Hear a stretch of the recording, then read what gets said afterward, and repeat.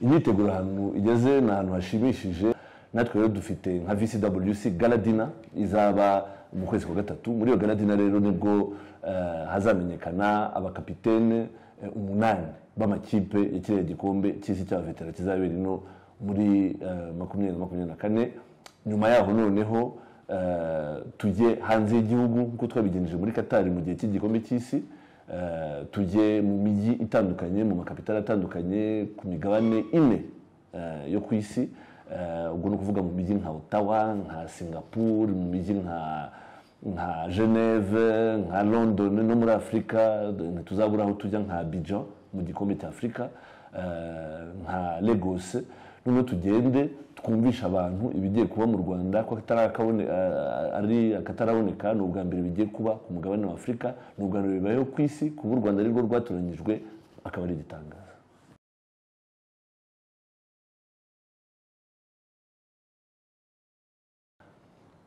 Barishimye cyane urumva eh, chairman wa vcwc fred siwe eh, kuba yarashoboye kuganira n'abakinnyi nka jokf nka karembe nka eto kugenda ahura n'abantu bakanyujijeho b'abahanga nka bariya kandi bafite izindi nshuti na zo z'abaregenze bagenda babwira ba- baragenda bakwirakwiza iriya nkuru mu bantu mu bakinnyi benshi ba kera mu baregenzi benshi ba kera.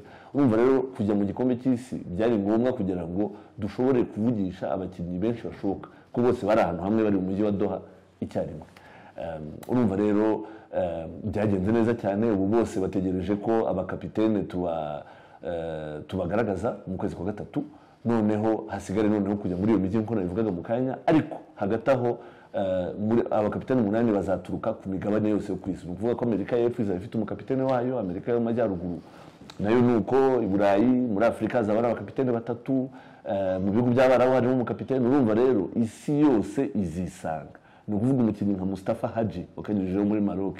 Umukinnyi nka eh, Enzo Francescoli wakanyujijeho muri Uruguay umukinnyi nka Alexis Lalas w'umunyamerika um, bariya ba Desailly twavugaga n'abandi n'abandi ba David Beckham bose urumva ni abakinnyi bashobora kuba bazaba bari ino eh, mu kwezi kwa gatanu muri makumyabiri na makumyabiri na kane.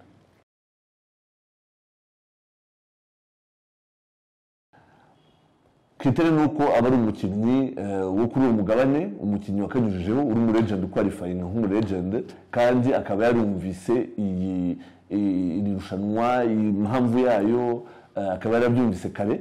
Dufite abaje ino um, umwaka ushize warabonye ba Anthony Bafoué wabonye ba Roger Mila wabonye ba Patrick Mboma eh, n'abandi. Ubwo rero urumva abakinnyi nk'abo wongeyeho wenda na ba Bedi Pele ukongeraho ba Samuel Eto'o nabo bakabyumva. Ntihazaburamo umwe muri buri mugabane tugenda dufata.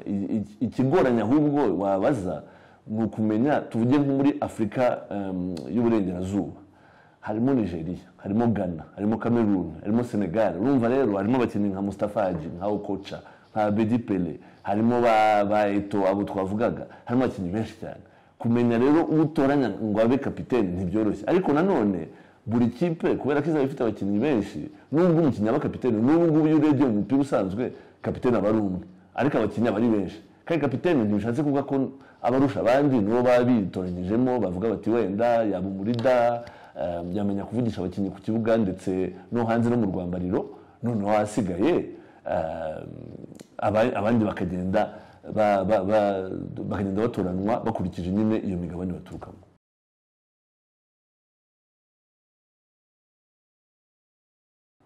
Birashoboka cyane. Urebye muri uru- ruhande rw'umugabane turimo muri afurika santarari birashoboka cyane ko kapitene yaba ari we ariko ibyo ntiturabimenya ntitwabivuga ubu ngubu ni ugutegereza mu kwezi kwa gatatu muri iyo galadina akaba ari bwo amazina y'abakapitene azamenyekana.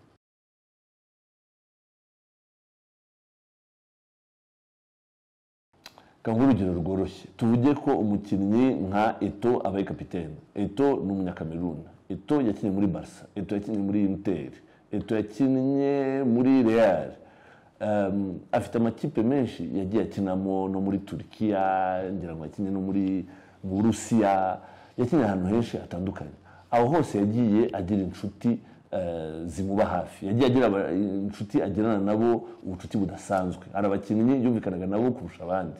Ba Iniesta ba Xavi nawe urabazi. Wongeremo noneho n'abanyakameruni yakinanye nabo wongeremo n'abandi banyafurika yakinanye nabo. Buri wese agenda afata abantu bikurikije ubucuti bafitanye ukuntu bumvikanaga ku kibuga. Noneho no guturuka kuri uwo mugabane kuko urumva amakipe bizaba biterwa n'imigabane baturukamo. Urumva rero nka eto eh, niba afite umukinnyi tuvuge nka drogba bumvikana baturuka ku mugabane umwe akaba ashaka kumushyira mu ikipe ye urumva ikipe yawe igomba kugira umukapiteni umwe. Kandi bombi ni abahanga. Ubwo bazitoranya nk'umukapiteni umwe.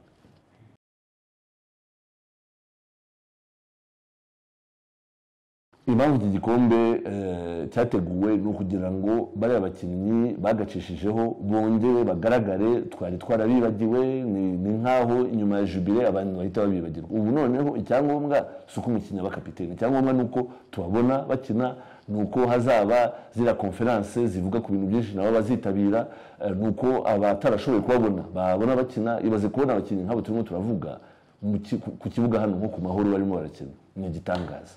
Urumva rero abantu ntibazajyayo baj- bajya kureba ngo ninde wabaye kapitene ntabwo ari cyo cyangombwa icyangombwa nk'uko nabivuze mu kanya kapitene aba umwe mu ikipe tuvuge ko ikipe irimo abakinnyi makumyabiri cyangwa cumi na batanu icyo ntikizaba ikibazo niba bahujije ku mukinnyi iki- kipe imwe imushaka ukazajya muri iyo kipe iyindi kipe ifata uwundi nta kibazo ntabwo ari ntabwo bagiye gukina barwanira nka kera gutwara igikombe bimwe biterwa yego baracyashaka gutsinda ariko si nka bya bindi bya kera bacisha nk'uko abakinnyi b'ubu bakina ubona nyine bari ari nk'intambara oya ibi noneho ni uku- ni uku- ni uku- ni ukugumana ka forume ariko nanone ah, bagakina ah, berekana ibyo bashoboye gukora kera bishimisha ariko noneho banashimisha n'abafana.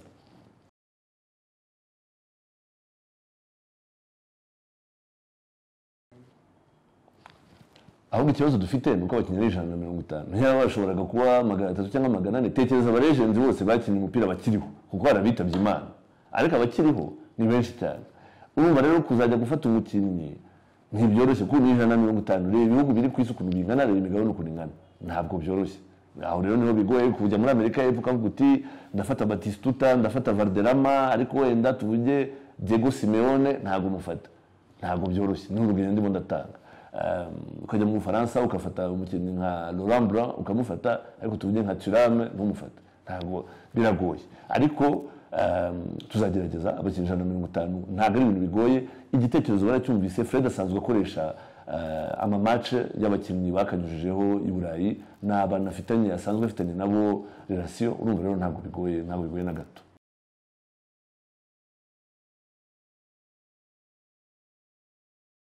Iyo umujyi wakiriye irushanwa nka ririya ntabwo haba harimo irushanwa rya siporo gusa. Yego ni abantu bibandaho ariko haba hari noneho na bizinesi haba hari no kugaragara k'uwo mujyi hari no kugaragara ku- kw'icyo gihugu.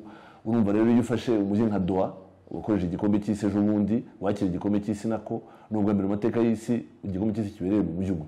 Ubundi haba hari imijyi nk'itandatu umunani eh, yakira imikino. Urumva nk'umujyi wa doha rero ubu byatumye ubukerarugendo bwiyongera ubu abantu bazakomeza bajyayo ba- bajye kureba ahantu ba Messi bakiniye na ba Mbappe ibintu nk'ibyo.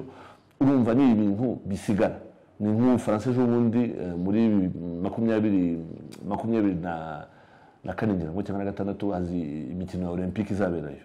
Urumva umujyi wa Paris wari usanzwe uzwi wari usanzwe ufite ubukerarugendo ariko buziyongera urumva rero iyo bimeze bityo ugomba guhura n'umujyi Eh, umujyi nawo ukumva yuko iryo rushanwa ari iryawo Eh, umujyi ukumva yuko ari irushanwa rizateza imbere umujyi urumva abantu bose bazabyungu- bazabyungukiramo yaba amaresitora yaba abamotari yaba ufite amaduka acuruzamo imyenda abantu bashaka kugura wenda ibintu byo kuzibukiraho kigali byo kuzibukiraho u rwanda urumva rero bose bafite icyo babikuramo. Eh, minisitiri w'ububanyi n'amahanga n'ubutwererane um, icyo twifuzaga kuvana muri iyo nama mu- mu mu kutwakira nako ni uko eh, nk'uko wabivuze mu kanya eh, aba legends bazajya ku isi hose muri legends eh, muri tour eh, azaba ari legends in rwanda world Eh, muri iyo tour rero urumva tuzaba dushaka guhura n'abanyarwanda baba mu mahanga n'abanyafurika baba mu mahanga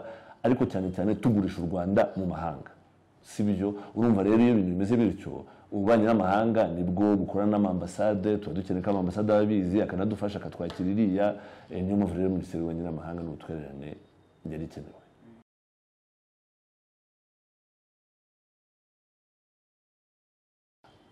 Abanyarwanda ntibishime bwa mbere na mbere yuko iki gikombe kigiye kubera mu rwanda ni ubwa mbere nanone tubisubiremo ku isi iki gikombe kibaye bagiye kubona abakinnyi ba- barose wenda bajyaga batekereza mu nzozi ariko ut- utumva ko uzigera umubona imbere yawe. Eh, bagiye kubibonera. Nibategereze rero tubagezeho amakuru y'ukuntu amatike bazayagura bamenye icyiciro bazashobora kugura eh, ese hari abakinnyi bazashobora kwegera ese kugira ngo babegere bizagenda gute ese ni hehe?